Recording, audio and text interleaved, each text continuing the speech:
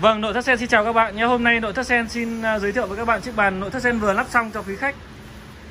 Đây là hàng đặt các bạn nhé.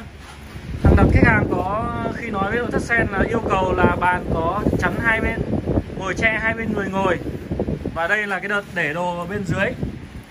Trên là mặt trắng, đây này là theo yêu cầu các bạn ạ. Trên trắng dưới đen. Đây tôi làm theo yêu cầu. Và đến nay đã hoàn thành các bạn nhé đang công đoạn. Và cuối cùng đó là cuốn ni lông để bảo quản, để cho lên xe ờ, đưa trở tới khách hàng. Quý vị và các bạn có nhu cầu đặt bàn ờ, tương tự như thế này thì alo chúng tôi nhé. Phục vụ rất nhanh chu đáo, nhiệt tình. Các bạn nhé. Bàn này có thể ngồi hai bên. Ở giữa này là có tấm ờ, gỗ bịt này, yên tâm không nhìn được bên trong. Đó. Bản này có kích thước là 1m3 rộng ờ, 70cm Cái đợt bên dưới này là 30cm này Ngồi hai bên không sợ chạm đầu gối các bạn ạ. Đây tổng quan. Và xong à, Xong bây giờ chúng tôi uh, tiến hành ờ, trở tới cho quý khách hàng.